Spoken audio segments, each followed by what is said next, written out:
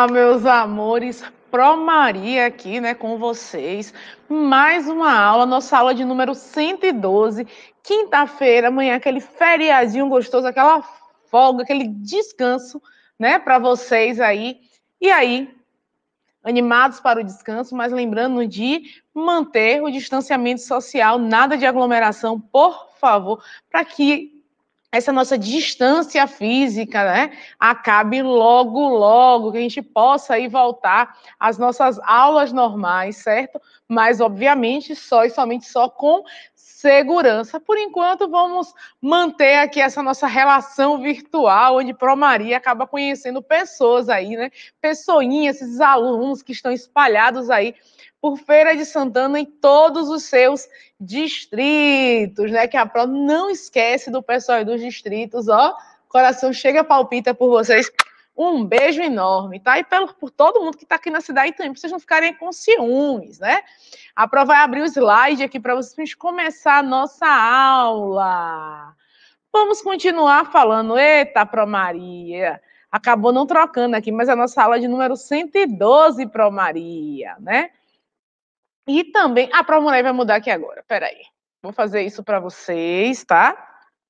Calminha. Negócio tem que ficar organizado. Nossa aula é 112 e nossa disciplina aqui hoje é o quê? Matemática, ó. Matemática e ciências, né? Ciências da natureza. Vamos lá. Ao vivo, falha nossa. Vamos dar uma puxadinha aqui na formatação. Tá? A PROC.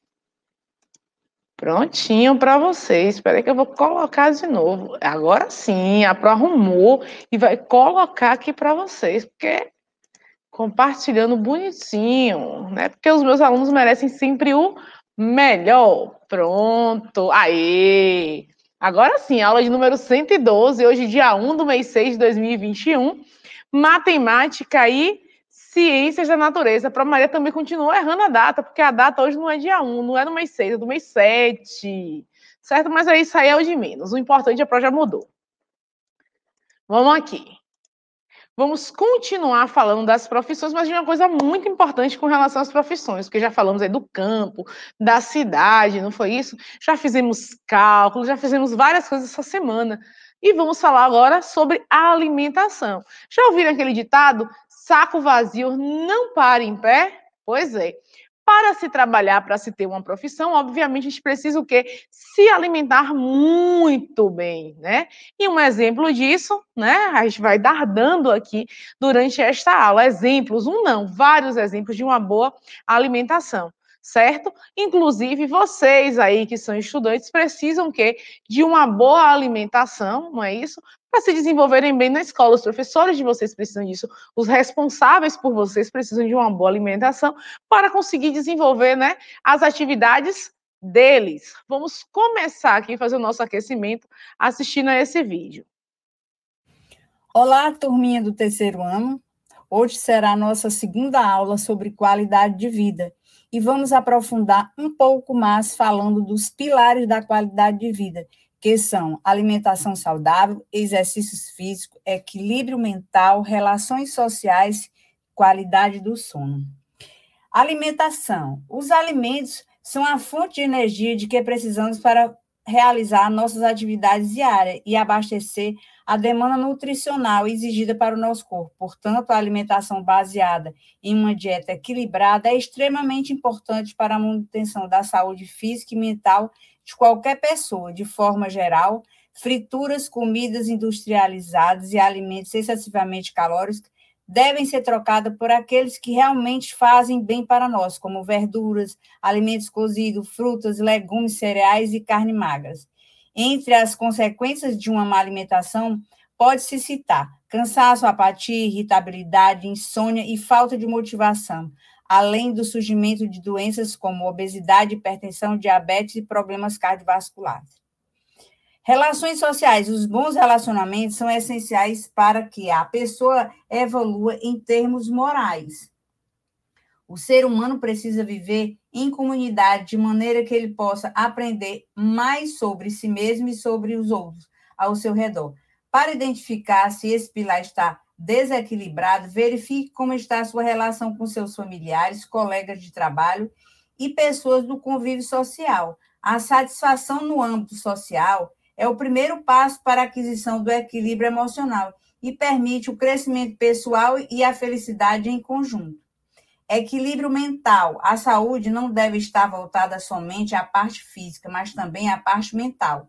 Uma mente equilibrada que exala a paz é sinônimo de paciência, discernimento e preparo para realizar toda e qualquer atividade necessária, assim como para enfrentar todos os obstáculos presentes.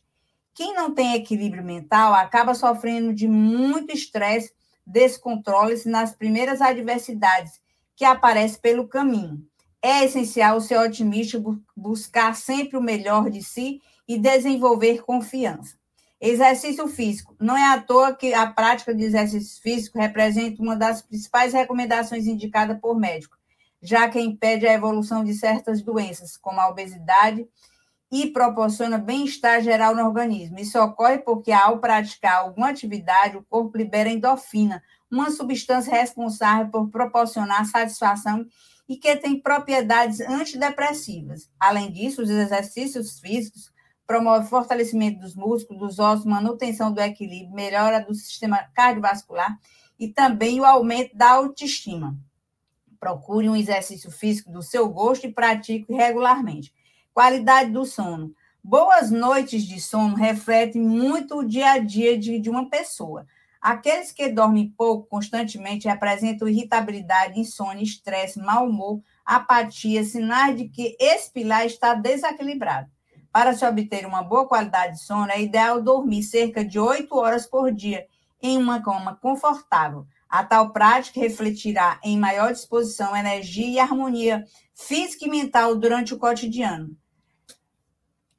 Como você vê, o sono e esses, esses pilares que eu acabei de falar, eles, quando eles são abalados, eles provocam sérias mudanças, é, atuando negativamente. No entanto, quando nós é, nos dedicamos, nos dedicamos e, e melhoramos é, positivamente, os resultados são inigualáveis. Então, qualidade de vida hoje é fundamental. Bom, gente, nossa aulinha chegou ao fim. É, espero que vocês estejam bem e estudem bastante. E até a próxima aula. Um cheiro. Obrigada aí, né, a ProRuth, suas explicações, né, que foram bem né, proveitosos aí, que falou bastante sobre qualidade de vida, passou aí imagens sobre a pirâmide alimentar e sobre coisas que a gente pode fazer para manter o quê? Justamente esta qualidade de vida, tá? Uma alimentação saudável, gente, no trabalho, com certeza é um dos fatores que pode ajudar os trabalhadores a alcançarem um bom desempenho em suas atividades o quê? diárias. Então, uma boa alimentação faz com que a gente tenha o quê? Esse desempenho, essa energia, não é isso? Não, por isso a gente precisa se preocupar muito, muito, né, com a nossa alimentação. Então, vamos lá, né? Bom, mesmo com rotinas agitadas, é bem importante encontrar formas para manter uma refeição de melhor qualidade e com todos os nutrientes necessários. Mas calma aí, tá? A gente precisa dessa alimentação com esses nutrientes, mas isso não quer dizer que a gente precisa gastar horrores de dinheiro tá? A gente pode ter uma alimentação equilibrada e eficiente, arroz, feijão, carne. A Pro sabe que a situação da gente aí agora, nesse momento, não está fácil, está uma situação complicada, tá? E que a cada dia que passa, né, as compras no mercado acabam ficando mais caras e que a gente precisa optar, na verdade, por coisas que caibam no seu bolso. Não é uma situação legal, não é uma situação confortável, mas, né, precisamos cuidar da nossa alimentação para que, né, daqui a um período a gente possa voltar a comprar tudo aquilo que a gente gosta, que a gente sabe que a nossa saúde agradece, tá? Bom, um cardápio variado, nossa, esse prato aí, amo, né? Arroz, feijão, aquela saladinha, o frango ou ovo, a Pro ama ovo frito com feijão, não sei porquê. Eu gosto bastante, né? Anderson, para variar, falou de comida, Anderson, ó, escapuliu, certamente deve estar tá comendo, aí depois ele reclama, tá, gente? Bom, um cardápio variado, sem dúvida, pode fazer a diferença, né, em uma série de tarefas da rotina, assim como o contrário pode ocasionar dificuldades e problemas, certo? Então, um bom cardápio, que é o quê? As opções de comida, né? O que você vai comer. Então, por favor, não cheguem aí para o responsável de vocês e digam, nossa, qual é o nosso cardápio de hoje? Não façam isso, tá? Bom, e é a nossa alimentação vai proporcionar que a nossa rotina, que as tarefas que a gente faz durante o dia, elas tenham o quê? Um melhor aproveitamento. A gente não vai se sentir mole, cansado, a gente vai estar o quê? Disposto e com energia Então, tipo, né? A Pro Maria come legalzinha, ela sempre tá aqui falando de comida, das coisas que ela gosta. Então, perceba que a energia da Pro Maria, ó, lá em cima. Bom, qual empresa, né? Qual empresa não iria gostar de ter um funcionário bem disposto? Tipo, Colbert, ele tá super feliz porque ele tem uma funcionária super disposta, né? O próximo prefeito também, né? Porque a Pro é funcionária da prefeitura, então o patrão dela vai mudando aí de acordo a cada quatro anos, às vezes dois, né? Bom, qual funcionário, qual patrão que não gostaria de ter um funcionário bem disposto, feliz, com um bom desempenho em suas atividades, né? E sempre com energia para encarar novos desafios. Qual é o patrão? Todo mundo, né, que tem aí funcionários, né, vai querer ter esse funcionário animado, empolgado, que faça um bom serviço. Bom, a resposta para essa pergunta provavelmente será de que esse né? É o funcionário ideal e que todos devem assim, ser assim, certo? Mas, né, as pessoas elas não são iguais, elas são diferentes. Então a aula de promaria é diferente da aula das outras provas. Então cada um tem uma maneira de agir. A promaria dá aula de um jeito, né? O professor Lamartine, Lamartine, nunca mais falei sobre você na minha aula, ele vai ter uma aula de um outro jeito. A Pro Rose, né, que está lá na escola Crispiniano, né? Né, lá no, no, nos Olhos d'Água, é Crispiniano, se eu não me engano, o nome da escola. Ela vai ter o jeito dela de dar aula, certo? Então, cada professor terá o seu jeito. Alguns serão mais retraídos, outros serão assim, tipo pro Maria, ó, só no uhul, fazendo bagunça e barulho e também ensinando para vocês. Então, se na sua mão possuem cinco dedos diferentes, os professores também serão diferentes. Então, esses funcionários, eles seriam o quê? O ideal, certo? Mas o funcionário ideal, ele pode ter o quê? Perfis diferentes. Bom, para que um funcionário tenha tudo isso, o segredo pode ser bem mais simples do que você imagina. Certamente, a alimentação é um dos principais requisitos nesse sentido. Então, uma boa alimentação vai proporcionar com que ele trabalhe o quê? Com disposição e energia. Você consegue fazer sua atividade de casa com fome? A PRO não consegue trabalhar com fome. É isso? Então, por isso que sentir fome não é uma coisa legal. Então, vamos lá, precisamos fazer todas as refeições, tá? Café da manhã, almoço e a janta. Se possível, aí entre os intervalos, um lanche, é o que a gente chama aqui no Nordeste, aqui na Bahia, de merenda, não é isso? Então, vamos lá. Isso acontece, né? Pois seguir uma dieta balanceada né, e variada é de grande importância. O termo dieta, gente, ele não está associado à restrição alimentar. Dieta são os alimentos que você come, né, as refeições que você vai fazer durante o dia e como ela vai estar disposta, como ela vai ser feita. Então, essa dieta balanceada e variada é de grande importância para a saúde de qualquer pessoa. E como a saúde está sempre, né, em primeiro lugar, o primeiro passo para uma qualidade de vida melhor já foi dado. E a Pro já disse aqui para vocês que é o quê? Uma boa alimentação. Bom, estando saudável, consequentemente, as faltas por problemas médicos irão diminuir. Isso não quer dizer que a pessoa não vai ficar doente ou que não vai acontecer alguma coisa que ele não vai faltar ao trabalho, tá? Mas isso irá diminuir porque ele vai ter uma boa alimentação. Consequentemente, ele estará bem com sua saúde, não é isso? E só daquela pessoa estar bem com sua saúde já é o quê? Um grande benefício, tá? Bom, mas, né, não para por aí, né? Já que consumir alguns alimentos pode melhorar a concentração, a memória. Quem nunca ouviu, ah, peixe é bom, para a memória, ômega 3, né? Já deve ter escutado aí do seu responsável. Estimula o cérebro, dá mais energia para o corpo e melhorar o humor, por exemplo. Então, eu estou, quando eu falo, quando eu como alguma coisa, obviamente eu fico muito feliz. É isso porque todo mundo sabe que para Maria gosta muito de comida. Então, uma pessoa bem alimentada, ela vai o quê? Trabalhar melhor e mais feliz. Todos esses fatores são muito importantes para a vida pessoal de cada um e também, né, isso na nossa vida profissional, porque isso vai melhorar o seu desempenho no local de trabalho, né? E essa melhoria é apenas uma consequência, né, do aumento desse bem-estar diário. Então ele vai produzir mais no trabalho, mas ele também vai ter uma saúde melhor, ele vai produzir também mais em casa, porque ele vai ter uma boa alimentação. Seguindo, trabalhando desta forma, né, desta forma como alimentado, será possível melhorar o ambiente na empresa, porque as pessoas vão estar o quê? felizes, né? Vão estar bem com a sua saúde, vão estar animados, né? Então, o desempenho dos colaboradores, né, e também os resultados alcançados pela organização, de modo geral, elas serão que maiores, né? Então, muitas empresas se preocupam tanto com esse quesito alimentação que elas próprias fornecem, né, essa alimentação para o trabalho. Então, é alguns responsáveis aí por vocês trabalham na construção civil, são pedreiros, pintores, né? Isso, ajudantes de pedreiro. Então, essas empresas costumam, né, já mandar alimentação. Por quê? Porque é um trabalho um pouco mais, um pouco não, muito mais pesado, e essas pessoas precisam estar bem alimentadas para desenvolver aquele papel.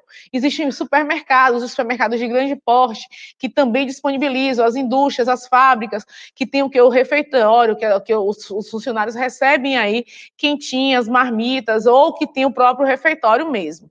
Então, várias empresas, de fato, se preocupam com a alimentação dos seus funcionários, né, no trabalho longos períodos sem se alimentar, né? Substituição de refeições principais por lanches e o consumo de produtos ultrapassados, né? Ultraprocessados, desculpa, gente, ultraprocessados são atitudes rotineiras que a gente faz, né, com frequência, mas que devem ser evitadas. Então, não é para deixar de tomar o café e tomar na hora do comer, na hora do café, biscoito recheado e tomar refrigerante. A hora do café é a hora do café. A hora do almoço é a hora do almoço. Arroz, feijão, o que tiver em casa, mas você precisa se preocupar. O seu responsável precisa estar também bem alimentado. Bom, apesar da correria diária, podemos utilizar o quê? Estratégias que facilitem a alimentação saudável. Como assim? Alimentos, na verdade, com um bom sabor e que você vai sentir prazer em comer mesmo ele sendo saudável, porque a gente tem aquela, aquela coisinha na cabeça de, ah, não, é saudável, é ruim. Não, não é bem assim. Existem várias coisas saudáveis que têm um sabor agradável, que são gostosas e que vocês podem comer.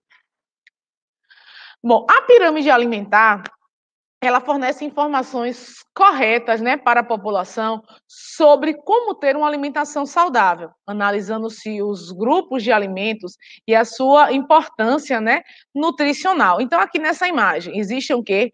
Grupos de alimentos. Então, tá, a grosso modo aqui, ela está dividida aqui em quatro partes. Max, né? São oito grupos de alimentos, certo? Bom, e esses oito grupos de alimento, eles estão aqui dentro dessa pirâmide, da base até o topo. Percebam que a base, ela é, obviamente, né, mais enlarguecida por se tratar de uma pirâmide, não é isso? Que é um triângulo, e o triângulo ele tem o quê? A base mais larga, e aí ele vai o quê? Subindo. Beleza. Na base da minha pirâmide, o que é que eu tenho? As coisas que eu posso consumir em maior quantidade, porque ela vai me dar o quê? Mais energia. E aí eu vou subindo e ela vai o quê? Estreitando até chegar no topo, que são aquelas coisas que eu devo consumir em menor quantidade. Bom, a pirâmide alimentar é uma representação gráfica. Lembra que a gente já falou sobre isso aqui, ó? É uma figura, o quê? Plana. Eu risco no meu caderno, não é isso? Plano, ó, é aquilo que não tem ondulação, que não sobressai, não tem relevo certo? E vai reunir informações importantes a respeito dos grupos né, de alimentos presentes em nossa dieta.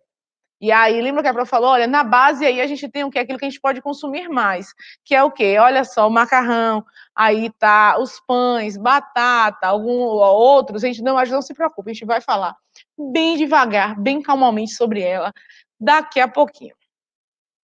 Bom, seu principal objetivo é garantir o bem-estar nutricional da população, informando-a principalmente sobre as porções recomendadas de cada tipo de alimento, né? Sobre aquilo que você pode comer mais e aquilo que eu posso querer comer menos, né? Eu vou comer menos aquilo que vai fazer o quê? É, eu vou comer mais o que faz melhor para minha saúde e menos aquilo que não faz tão bem assim. Muito embora, né, algumas coisas que não fazem tão bem são bem gostosas.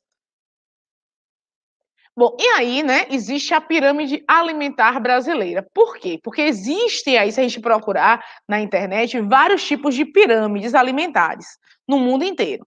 Mas a pirâmide alimentar brasileira, ela vai ter características da nossa população, de alimentos que consumimos aí com mais frequência. E a gente vai descobrir aqui o porquê que existe essa pirâmide alimentar brasileira, tá? Bom, essa pirâmide, normalmente, elas, de modo geral, apresentam variações, pois cada região possui o quê? Uma especificidade na dieta. Então, na base do nordestino ali da pirâmide, até o quê, Vânia? Cuscuz! Cuscuz, bolo, porque é o que a gente gosta. Cuscuz. Então, na base da pirâmide da Pro, com certeza teria um cuscuz, né? Que é um carboidrato que vocês podem utilizar. No Brasil, por exemplo, a primeira pirâmide foi desenvolvida em 1999, né? Já tem aí uma quantidade de 20 e poucos anos, né? Entretanto, Após esse período, ela recebeu reestruturação para se adequar melhor ao que à realidade do nosso país. Então, a realidade do nosso país não é a realidade dos Estados Unidos, que não vai ser a realidade da China, que não vai ser a realidade, por exemplo, do, da, da Espanha. Vamos botar assim. Então, a nossa pirâmide, ela obedece o quê? Ela representa, né, melhor dizendo, a nossa realidade, tá? Bom, a quantidade de alimentos que devem ser consumidos diariamente, ela vai variar, pois deve-se levar em consideração fatores, por exemplo, como a idade, né, o sexo, o peso, a localidade, as necessidades individuais, dentre outros. Então, se a pessoa ela é um pouco mais cheinha, ela é gordinha, o que é que vai acontecer? Ela vai fazer uma alimentação voltada para o seu peso. Ah, olha, é, é, principalmente, tá? Só um, um toque aqui, também voltada para sua o quê? Necessidade individual, principalmente pela, pela, atividade que ele desempenha profissionalmente. Então, o professor, ele passa, né, uma parte do tempo ali em pé e uma parte sentada. Então, o gasto de energia, né, isso é menor ou maior do que uma pessoa que trabalha na construção civil? Vai ser um gasto é, calórico menor, certo? Então, ela vai, não estou dizendo que ela vai se cansar menos, estou dizendo que ela vai gastar menos energia, tá? Que o, o, a gente tem é uma espécie de pirâmide aqui, mas é um, um, uma distribuição em um prato. É um gráfico, tá? A gente já viu gráficos aqui, mas é um gráfico no formato de pizza. Bom, ela é baseada em uma dieta, né, de 2 mil quilocalorias. Quem nunca ouviu falar, ah, mas tem muita caloria, ah, engorda porque tem muita caloria. Então, caloria é a energia que a gente gasta para fazer determinadas atividades. E seria o ideal um consumo médio de 2 mil calorias, porque essas 2 mil calorias iria suprir o que a gente gasta, certo? Então, eu vou consumir 2 mil calorias e vou gastar 2 mil calorias. Se eu não gasto minhas 2 mil calorias e eu consumo, eu vou querer ganhar peso, porque isso vai ficar acumulado, não é isso? Mas se eu estou consumindo 2 mil e estou gastando 3, eu vou engordar ou emagrecer? Fica aí, matemática para vocês, tá? Porque a aula aqui também é de matemática, não vamos esquecer, tá? Vamos lá. Bom, esses oito grupos são dispostos em quatro níveis distintos. A Pro, inclusive, falou com vocês, olha, existe aqui quatro níveis, esses quatro níveis, eles são divididos. O primeiro nível, que é a base da pirâmide, que é a parte mais larga, é o grupo de quem? Dos cereais, tubérculos e raízes. Você sabe o que é um tubérculo? E aí, o que é um tubérculo? Será que uma batata ela é um tubérculo? Fica aí a pesquisa para vocês. Vamos pesquisar o que é um tubérculo. Eu vou acabar dizendo aqui para vocês no decorrer da aula, mas fica aí a dica como pesquisa. No segundo nível, né? A pirâmide já está se estreitando, esse parte de cima, você já deve consumir um pouco menos, é as hortaliças e o grupo das frutas. Hortal... Temos hortaliças aí, Pro? Temos hortaliças e frutas. Então, esse aqui são é o segundo grupo. Então, perceba que são é o quê? Com a base, ela é mais larga, que você precisa consumir mais. E aí eu subo, vem as hortaliças e as frutas, não é isso? Pronto. Terceiro nível é o grupo do leite, não é isso? E produtos lácteos, que são o quê? Os derivados do leite, tipo iogurte, queijo, o grupo das carnes e ovos, né? E o grupo das leguminosas e oleaginosas. O que é, um legume? O que é um tubérculo? Vamos descobrir. E oleaginosas, o que é que são? Será que são castanhas? Será que é um amendoim? Se encaixa nisso aí?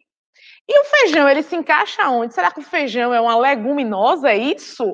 Bom, quarto nível é o topo da pirâmide. Grupo dos óleos e gorduras. Quem é que nunca ouviu, né? O responsável diz assim: ah, não, isso é muito gorduroso, não faz bem, nada de coxinha. É o grupo dos açúcares e doces, né? Nada de chocolate, nada de bala, porque não faz bem. Ou seja, essas são as coisas que a gente deve consumir o quê? Menos. Então, ela está no topo da pirâmide, que é a parte o quê? menor. Vamos lá. Grupo 1, carboidratos, né? Uma porção, aí ele vai dizendo aí 150, o que, é que você deve comer, né? Isso aí seria uma média para uma dieta, mas a gente não vai, certo? Se apegar a isso aqui. O que, é que a Pro está trazendo? É para vocês terem noção da quantidade que você pode comer, mais ou menos, de cada coisa. No grupo 1, deixa para tomar um pouquinho de água. No grupo 1 temos quem? Arroz, cereais, massa, pães e raízes, não é isso? Tipo, aipim é uma raiz, não é isso? Inhame, uma raiz. Vamos lá? Qual será o grupo 2, né? Olha, no grupo 2 estão verduras e legumes, não é isso? Quatro a cinco porções, né? que é aqui, alface, abobrinha, brócolis, chuchu, tomate. Esse é o meu grupo 2. Grupo 3, frutas de 3 a 5 porções com 35 quilocalorias, né? A, a pera, abacate, banana, né? Mamão, abacaxi, laranja, uva, são várias as frutas. Grupo 4, né, que é o grupo do leite e derivados, queijo, leite fermentado, iogurte, manteiga.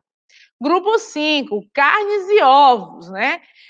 Peixe, frango, carne moída, ovos, né? Que até ovo aí nesse período tá caro, gente. O grupo 7, né? Isso que é o grupo de quem? Óleo, manteiga, né? Isso, azeite de oliva que a gente usa para salada. Agora, o grupo 8, que é aqui em barra de chocolate, mel, doce de goiaba, bolo, refrigerante, que são coisas que a gente não deve consumir assim, porque não vai fazer tanto bem. Bom, vamos seguindo. O que será que teremos? Vamos então construir uma pirâmide alimentar. Que tal construirmos aí uma pirâmide alimentar? Vem com a prova, vamos fazer a mágica acontecer, vamos cortar lá, né?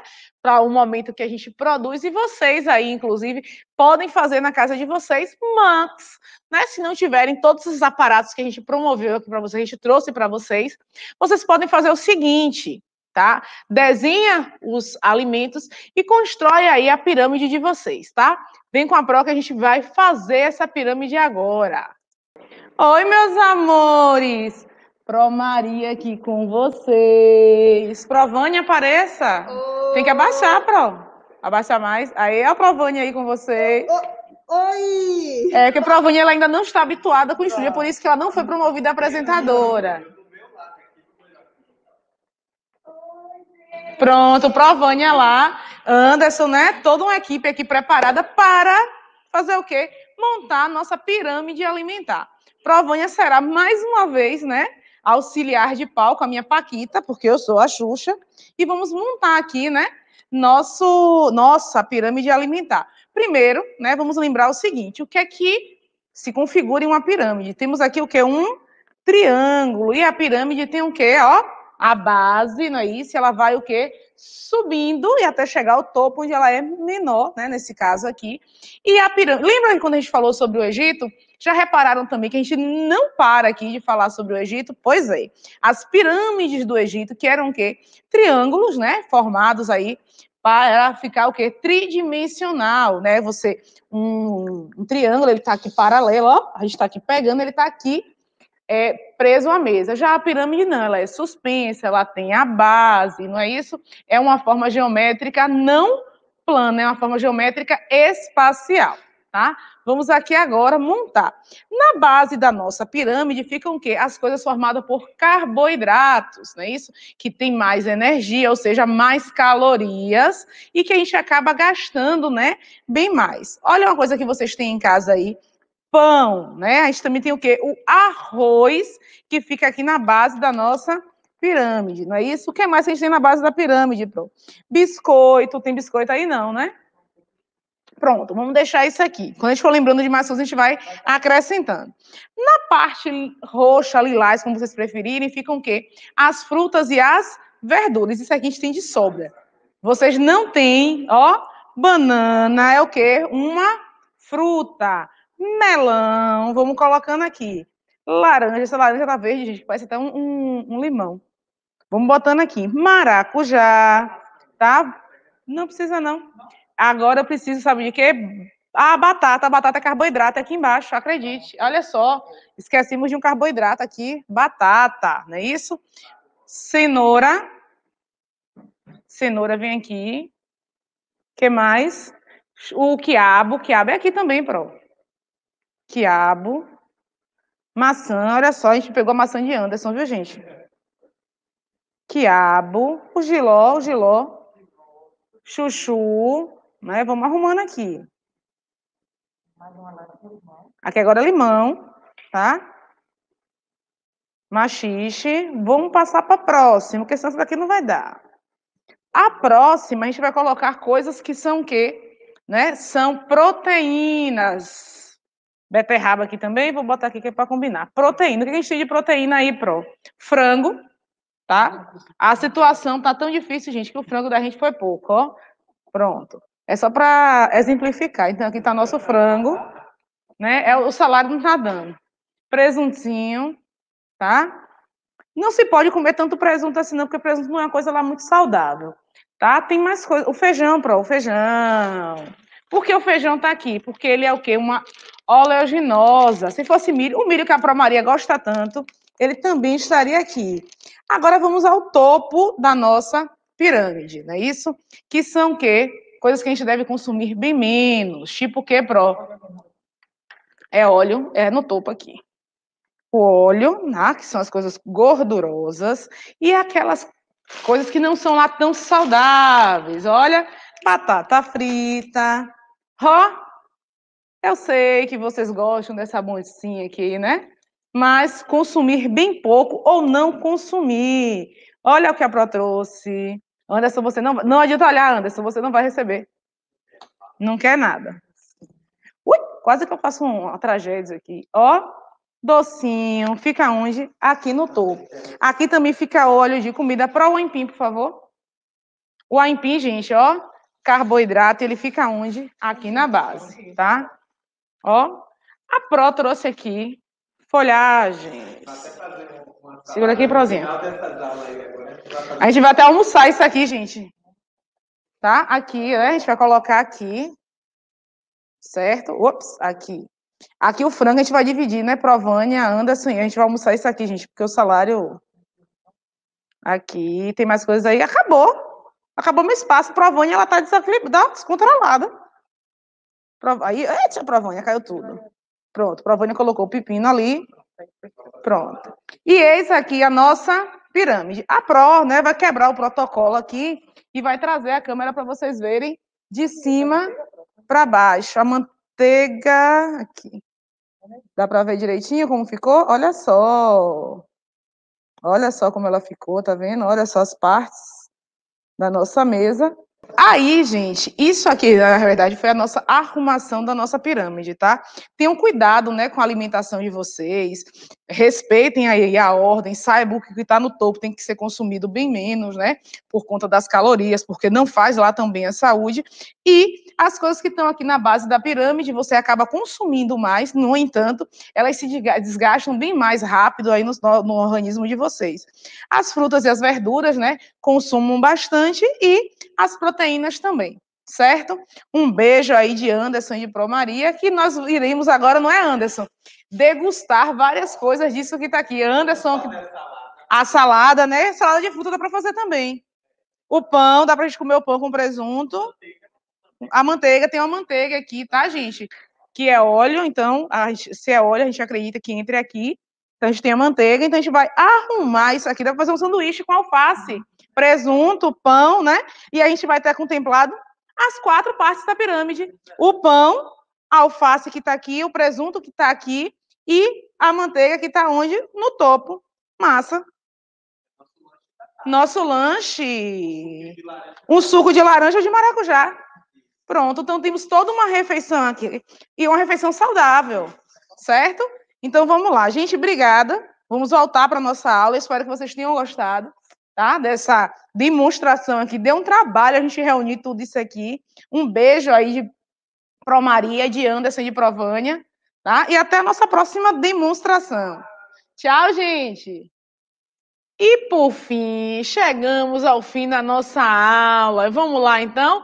Lavar uma mão, lavar outra, lavem as mãos, usem álcool em gel, tá? Usem máscara, se protejam, ficam bem guardadinhos, porque em breve a gente vai estar, tá, né, juntinhos aí. Mas enquanto isso, o ideal é que a gente o quê? Se protejam, tá? Se cuidem no feriado de amanhã, nada de aglomeração, que para Maria e Anderson vamos estar aqui de volta na segunda-feira para vocês.